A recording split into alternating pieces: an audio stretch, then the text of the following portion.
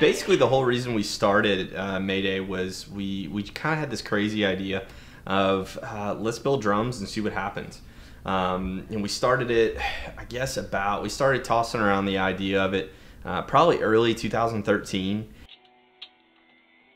We both had done repair work on drums, and you know I worked at Guitar Center for a time where uh, I used to bring my snares, basically redo them, have to put new throw offs, have to replace lugs, have to replace tension rods, figure out kind of engineering of drums. And uh, Jeff had redone one of his kits and one of his older kits, so he's done repair work and refinished and and done all these things. His dad's actually a carpenter, and he is amazing at what he does. So Jeff kind of picked up a lot of that stuff. There you go. That was killing me.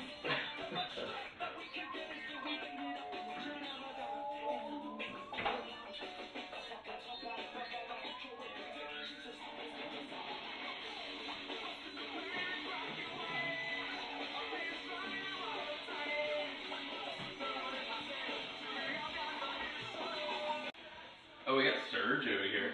Oh, nice. Like, bought it at like High Neighbor for like 10 bucks. That's classic. I saw that in uh, where did I see that? I saw it in like uh Like video. Amazon? Yeah, like a game, Yeah, like video game like- store. It was like 70 bucks for like a case on Amazon. And we started thinking about, you know, I, I had the idea. I was like, man, I could, I could do this, and and I bet I could. And we we really kind of tossed it around of going, okay, do we want to do it for real, or are we just talking about it? What we decided to do was we're gonna get a kit. Uh, we're gonna build one from scratch because neither one of us had ever done that before, um, which is kind of funny uh, that we want to start a drum company and we've never built one before. Um, but we knew the science of it. I known a lot of the engineering that goes into it. I I was a player. Jeff was a player. At the same time, we knew what we wanted. I was in very different styles than Jeff. Jeff was more progressive and you know uh, fusion and jazz and all that, which he'd learned from his dad.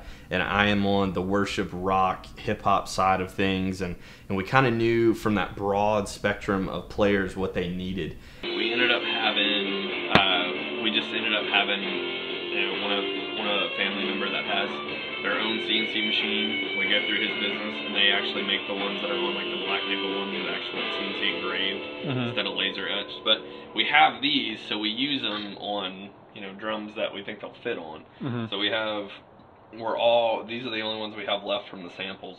Okay, I'm down. the massive animal sleeve. Oh really?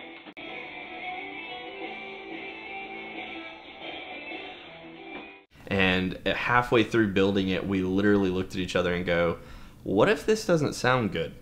And it came the moment of truth where we're in this tiny little apartment where my wife and I used to live, where Mayday started. Um, and we we headed them up. We had some coated emperors. We put on the 16-inch floor tom, and um, we took a stick and we kind of looked at each other like, "All right, I guess here it goes."